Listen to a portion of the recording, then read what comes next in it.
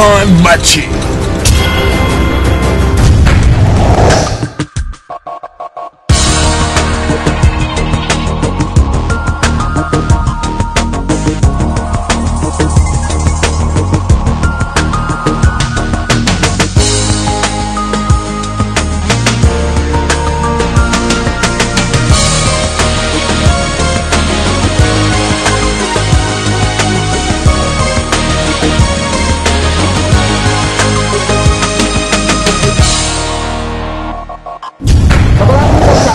กลับมารนี้ทางไมชินครับ ผมและคุณเอ๊ฮะยังอยู่กับเจ้ารายการโรเล็กที่เรียกว่าเดโทนาแต่จริงๆแล้วชื่อกันจริง ๆเขาเรียกว่าอะไร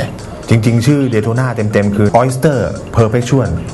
Cosmograph Daytona ครับชื่อเต็มๆของเขา แต่เราเรียกย่อเป็นอ่าโรเล็กเดโ o นาเป็นก็ว่าถ้ารู้กันถ้าถ้าเราพูดในวงการเนี่ยของนักสะสมเนี่ยพอเอ่ยถึง Daytona เนี่ยก็เป็นที่รู้กัน ก็หน้าตาจะประมาณอย่างนี้รูแหปละพันสันฐานหน้าตาประมาณไอนี้สิ่งที่เรานำมาทั้งหมดวันนี้เจ็ดเรือนเนี่ยนะฮะมันมีอะไรเป็นยังไงกันบ้างผมก็ไม่รู้ว่าเริ่มต้นจากอะไรเรือนไหนก่อน ประวัติของเขานะฮะเดโ o นาเนี่ยเริ่มต้นมาที่ปีหนึ่งคริสต์ศักราช1969 เป็นชื่อ ของเดโ o นาเนี่ยถือกำเนิดมาจากสนามแข่งรถ เป็นสนามแข่งรถอยู่ในเมืองเมืองหนึ่งที่อยู่ใน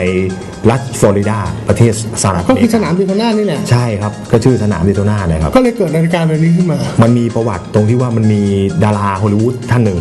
คุณโบทคงรู้จักเออชื่อพอลนิวแมนอ๋อพอลีแมนก็ที่ใช่เขาบอกว่ามันมีเดโ o นาเรือนหนึ่งที่นักสะสมก็หากันอยู่ใช่พอลีแมนที่เรือนเป็นล้านเนี่ยนะใช่ครับก็เป็นรุ่นรุ่นหนึ่งในในตระกูลเดโ o นาเหมือนกันครับครับผมก็ เป็นพรีเซนเตอร์ไม่ได้เป็นพรีเป็นเขาเป็นนักแสดงที่ใส่เดโ o เขานาเป็นดาราที่หล่อมากในยุคนั้นเลยนะในยุคนั้นเขาใส่ พระเอกดังมากถูกต้องครับเขาใส่นาฬิกาเดโ o นาเนี่ยแสดงในหนังเรื่อง Winning อ๋อ นั่นแหละก็เป็นจุดกำเนิดที่ เป็นพรีเซนเตอร์ให้โรเล็กเลยที่เขาบอกที่เขาเรียกว่าหน้าพอลนิวแมนหน้ารุ่นพอลีแมนเนี่ยนะใช่ครับที่พอลีก็คือที่พอลีแมนเป็นพรีเซนเตอร์เอามาใส่ใช่ครับเดือนละล้านกว่า 2 ล้านไล่ไปถึงหลายล้านเลยนะซึ่งใช่ครับเคยอ่านดูยุคในต้อีนๆเบถูกต้องที่เขาประมูลในอีเบนานแล้วเหมือนกันนี่นะแหหละลายครับล้านเหมือนกันนะคือคือเป็นรุ่นที่ท็อปที่สุดแล้วในบรรดาโรคอสเล็กโมกราฟใช่คอนเซอร์เปอร์เปชัวลคอสโมกราฟเดเป็นโ o นาเนี่ยเป็นคิงของ Rolex Sport คือเดโ o นาพอลีแมนพอนิวแมน การถ้าหกเก้าเขาต้องยังเป็นยุคที่ยังเป็นยังเป็นหน้าปัดพลาสติกหน้าปัดพลาสติกเซลลูหน้าปัดเซลลูยุคยุคนั้นยังเป็นหน้าปัดพลาสติกคือยังไม่พัฒนา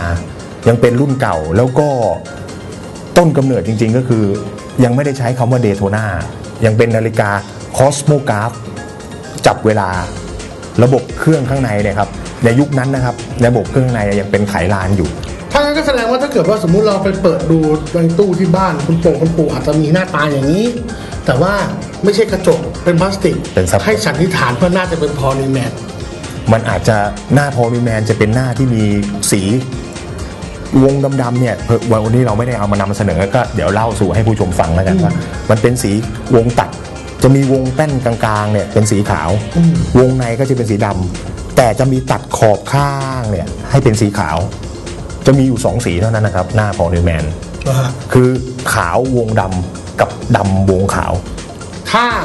ไปเจอนะ เปิดมาที่บ้านเปิดตู้มานะ สมมติเจอของคุณพ่อคุณปู่นะครับ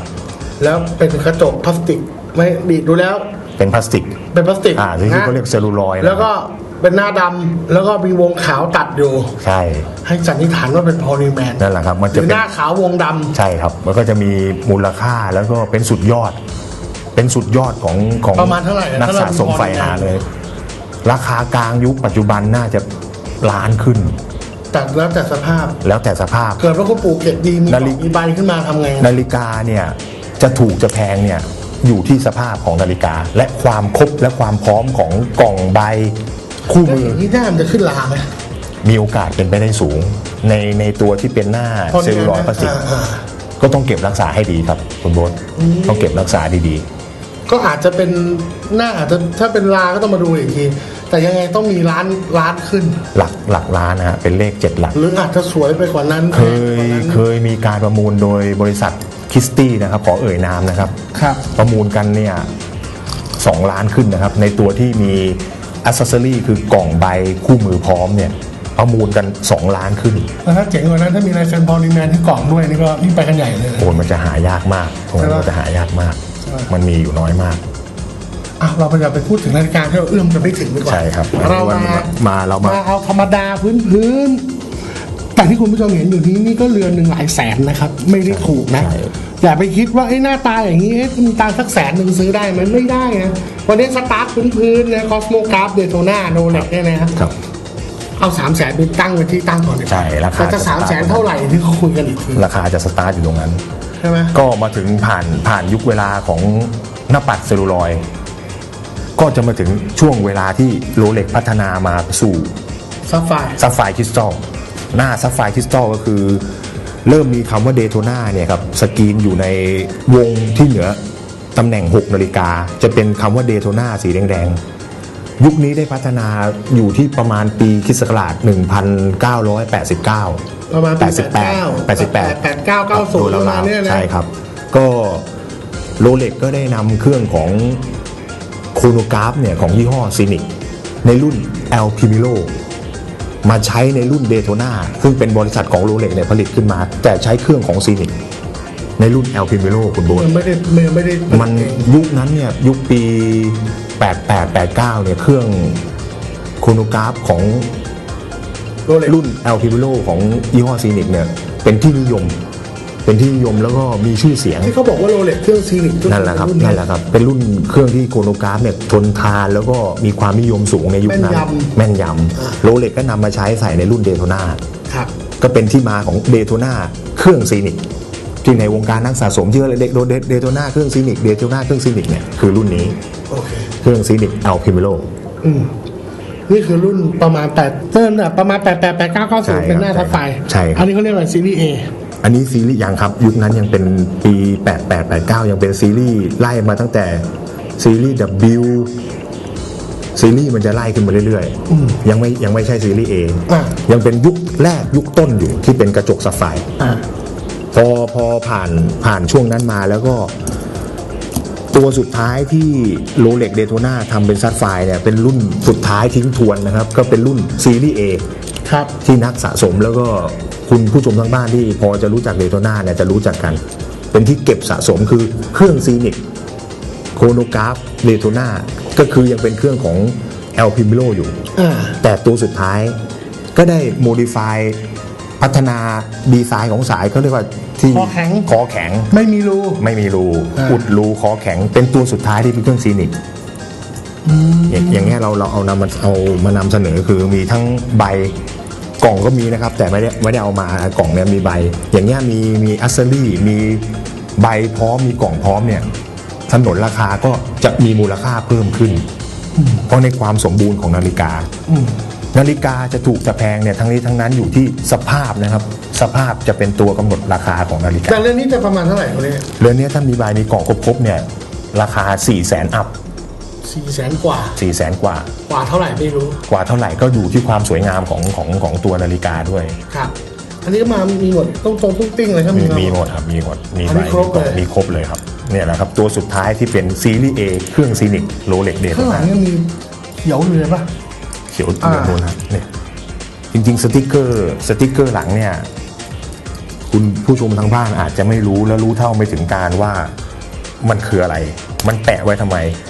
จริง ๆ มันก็แปะว่าเป็นโลโก้ Rolex แล้วจะมีในยุคนั้นจะมี series number ก็คือรหัสของเขาคือ 16520 สติกเกอร์มีคุณสมบัติดีดีอยู่อย่างหนึ่งนะครับ เวลาเวลาเวลาเราเราเราใส่แล้วเนี่ยเกิด เราถอดไปบนหัวเตียง หรือเราถอดไว้ ที่โต๊ะทำงานเนี่ยถ้าเราคว่ำไว้เนี่ยสติกเกอร์เนี่ย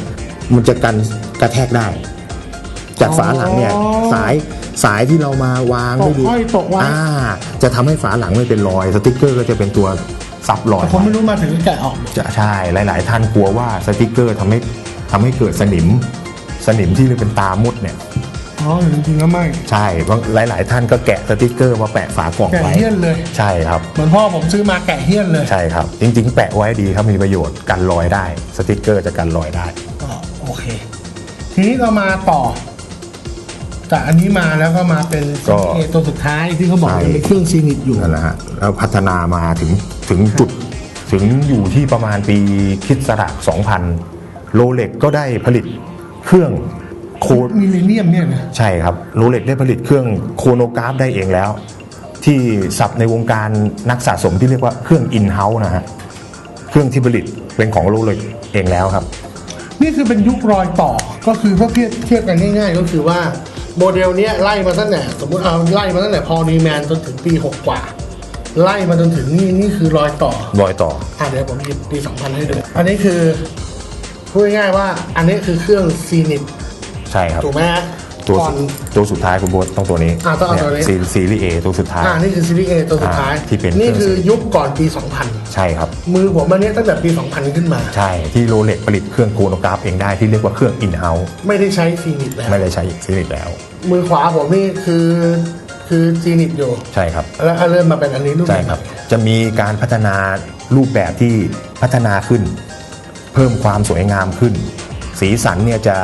จะสู่จะจัดเข้าจ้าสู่นขึ้นนะ จัดจ้านจะเข้าสู่นาฬิกายุคใหม่ละ ถ้าเรามองด้วยตาเนี่ยคือหน้ามันเหมือนมันจะดำกว่าไอ้ตัวนี้หน่อยถูกต้องนี่มันอครับอกเทาๆหน่อยใช่ครับ ถ้ามองด้วยตามนจะมารู้สึกหน้านี่มันจะดำขัดอย่างเลยอย่างเครื่องที่เป็นเครื่อง in house เนี่ยเครื่องโรเล็กทำแล้วเนี่ยเขาจะเปลี่ยนวงจากของเดิมเนี่ยอะของเดิมที่เป็นวงจับเวลาข้างในสามวงเนี่ยจะเป็นสีออกสีไข่ไก่ ครับสีออกเหลืองๆหน่อยครับ นะแล้วยุคพัฒนาแล้วคือปี 2000เนี่ยจะเป็นวงข้างในสีเงิน สี millennium อะวงข้างในสามวงเป็นสีเงิน อ๋อ สตาร์ทที่ปี 2000คิดกลาดปี 2000 นี่เขาเปลี่ยนกันแล้วนะ 2000 ใช่ครับ อะ เดี๋ยวเดี๋ยวเราไปเบรกโฆษณาสักครู่เดียวคุณผู้ชม เดี๋ยวเรากลับมาเบรกหน้าฮะเบรกสุดท้ายเราจะมาไล่เรื่อง Daytona กันให้จบเลยทีเดียวพักชมโฆษณาสักครู่เดียวครับ